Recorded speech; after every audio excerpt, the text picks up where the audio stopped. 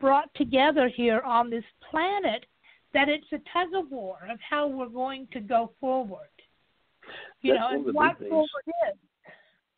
Yeah, Pardon me? That's one of the big things we need to do is to be sure that all these different groups and things they have a portion, a small piece of of, of the pie, if you will, and if we can help bring them all together to where we're all uh, making the same approach to make Homo sapiens sapiens on the planet Earth a, ready to advance on into the solar system to meet up with uh, the solar intelligence uh, throughout the whole universe. This is going to make a big difference, and the people. and It's you know it's been a process that we get to wake up and um, are able to handle it. That was one of the biggest things that during H.G. Wells and the whole story there of um, people panicked and jumped off buildings because they couldn't do it.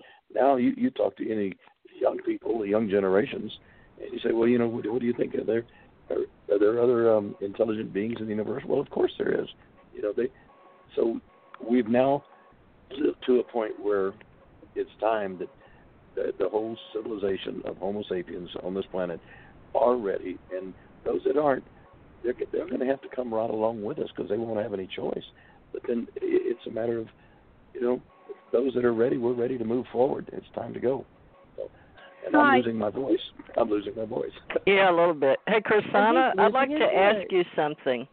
I've got. I'm looking at Dr. Michael Isala's book, PhD level, uh, called the U.S. Navy's Secret Space Program, and it says and Nordic Extraterrestrial Alliance, and on the front are two people. One is a female in a silver suit with blonde, long hair, uh, holding the hand of a gentleman in the U.S. Navy officer uniform and facing each other. It's a very good looking book. I have not read it, but I want you to know that I relate to both those personages on the front.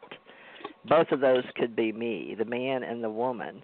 Now, how would I explain that to somebody like you that other than how I just did? But I relate to both memes or energy or biologicals or the because I've been in the US Navy.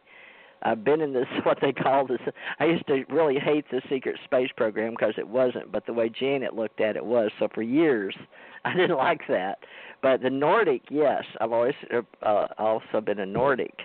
So here's the words I use: Nordic, extraterrestrial. I never use secret space, but now I use UFO secret space program. But I use UFO Secret Space Command in a social network. We've got a couple of thousand people in it. But how do you do that? It's made by Robert Salla. No, Michael Salla and Robert Wood did the forward, and they got together after Bill Tompkins, right? And all of that. Right. But Janet kno- knows both of them. But I'd like to hear what you say. I know what Janet's going to say. They're all me or aspects of me. But how do you feel? If you heard said, "This is the craziness I'm trying to keep from happening to me," but I know what I'm trying to do. I just don't know how to get there to help people. Does that make Well, sense? It makes perfect sense. And um, what we need to understand is that we you're talking about archetypes. Platonic sense as, as Plato defined an archetype, which is the first of its kind. And so we Very good. I use I- I, I- use I tarot don't- cards for that reason. But yeah, keep going. That's very impressive. Yeah, you got it. Archetypes. But yeah, go on because we've got to learn. That's what Allied Command's about: is learning to talk to different people at different levels that have different experiences, or different dimensions, or time travelers, or whatever. But all of the above. But to make it make sense, so people like me that have various levels of existence don't feel crazy when we talk to people that want to know more, but we don't know how to communicate, and that's my one of my gifts is uh, supposed to be able to communicate. All right, back to you. anyway, in in in terms of the archetypes, we all come from archetypes. We are all are, we are descended from archetypes, the first of a kind, and for us, our archetypes are all off planet, right? We're a young species, and this is a young, actually a young solar system. So everything that we're talking about and we're worried about the ancestors, the archetypes have already done it in one way or another. So we can either look at them as an example and and as models after which we spin off. And we can say, what can I learn from this? Or we can um, deny it. So, what are we talking about here? We're talking about intellectual maturity and um, the well, our own level of. Those, yeah, I think our spiritual our, level as well. Well, it's it's it's all of it. It's physical, it's mental, and it's it's soul.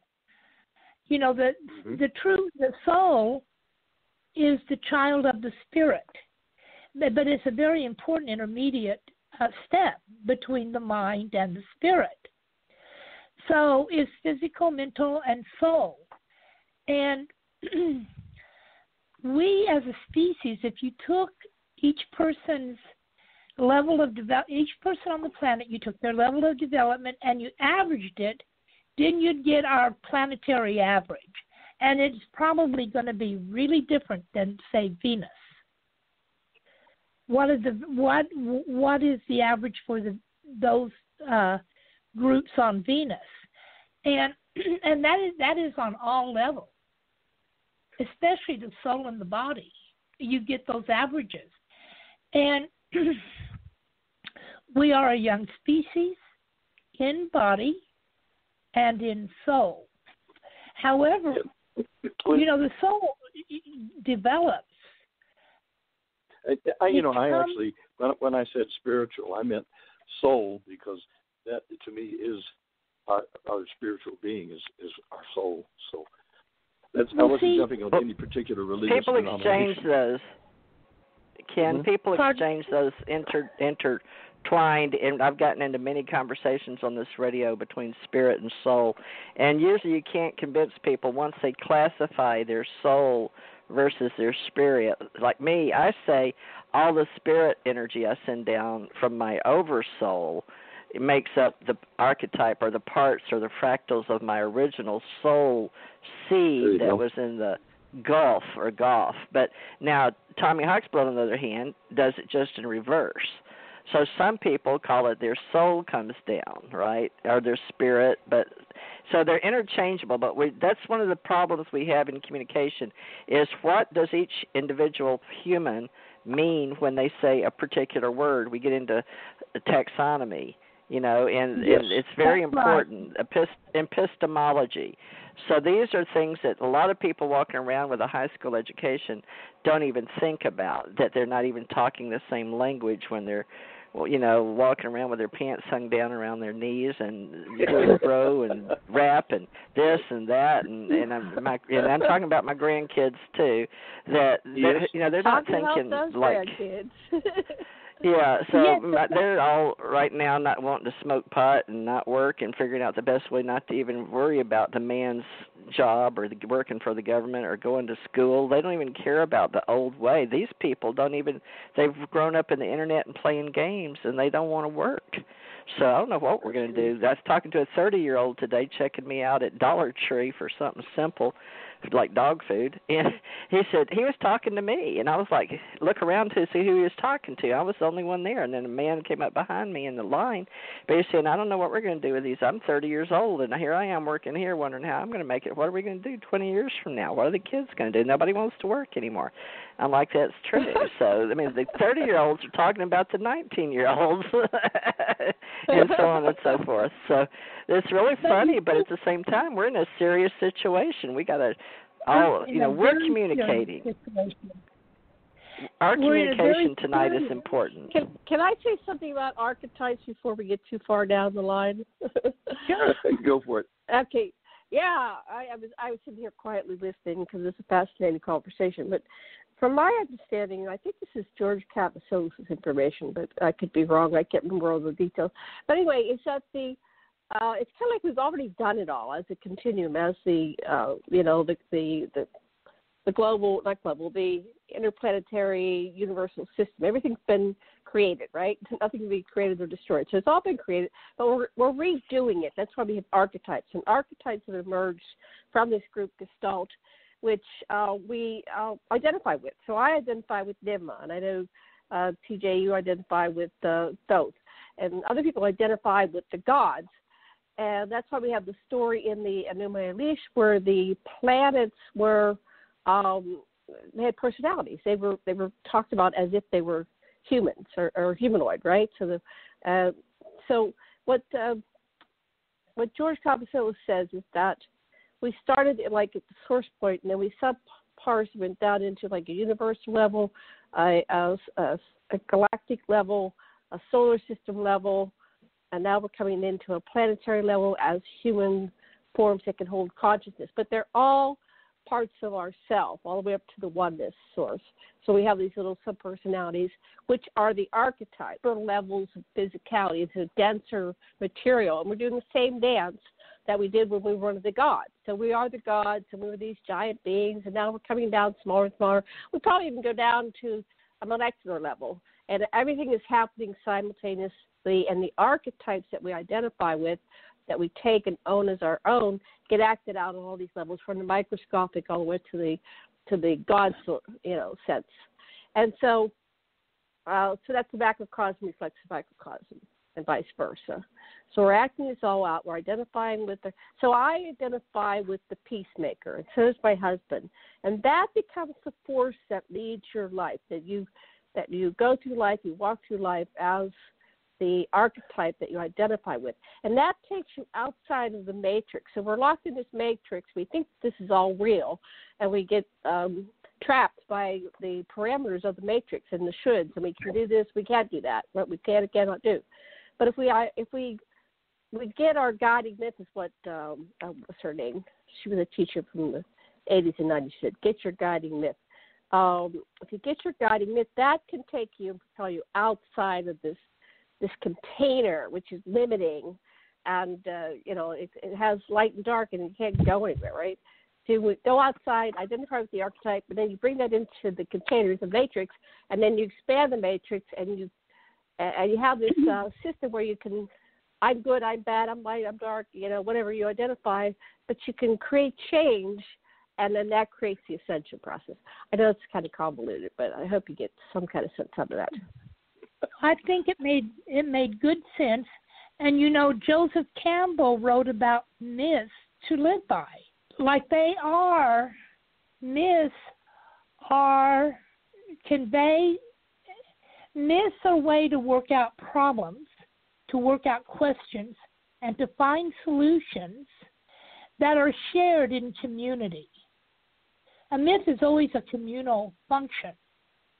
And um, and a lot of what we're we're talking about now, uh, like is it real? Isn't it real?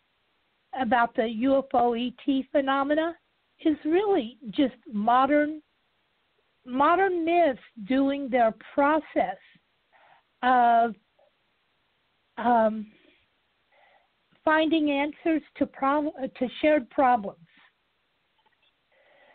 So I think it's very important, and I think that the mythology is an is an incredibly important function that is not really well understood at the gut at the not gut, but the um,